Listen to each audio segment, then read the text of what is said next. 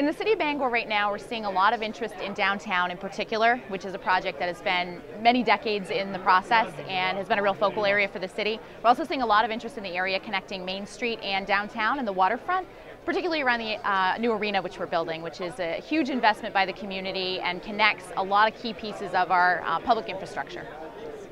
I think uh, over the last six months, we've seen an increase in activity uh, in all, all sectors, uh, industrial, uh, retail, office.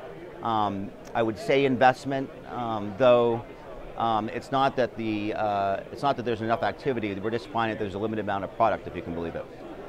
Uh, in real estate right now, the activities seem to be around redevelopment, uh, seem to be around uh, a little bit in the residential. We've seen some movement in the residential. Multifamily continues to be uh, a market source that uh, we see activity in. Um, really, uh, that's about the extent of where we're seeing uh, the market activities. Uh, multifamily, uh, some of the uh, uh, housing redevelopment for subsidized housing, there still seems to be movement in that, although that's a function of a lot of state and federal funding and it's pretty competitive in that market. But that's really where we see it right now.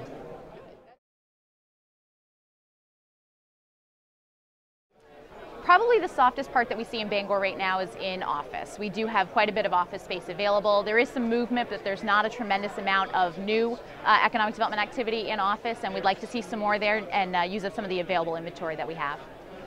I think the retail market still has a little ways to go. I think it's getting better. Um, Karen Rich from my office uh, in her presentation was talking about some of the big boxes. There may be some more closures. Um, I would say prim primarily retail and of course industrial in the northern markets, but uh, that seems to be an ongoing thing for the last uh, decade. Uh, the retail side.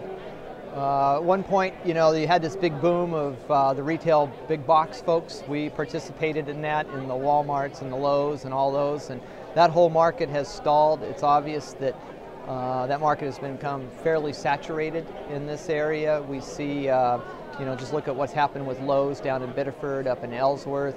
Uh, you know, uh, that area is just really slowed down. Any retail we see is reoccupation of existing uh, development sites, so uh, we don't really see a lot going on in the retail side.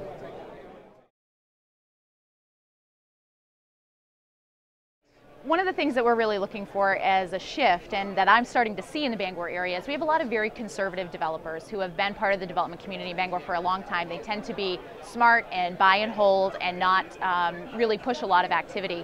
Those people are really starting to look around for good value and because those people are now picking up their heads and saying that they're seeing good value and they're making some decisions, for, for me that's a leading indicator that those folks are starting to move and other things are going to start to follow. Well, you know, I, I think it's on multiple levels. I mean, we're dealing with uh, lease and sale transactions on a daily basis, so the overall activity is a key indicator for us. Um, and it's not whether or not if somebody actually secures a transaction, but it's the amount of inquiries that we get, how close we get to securing a deal, um, overall competition.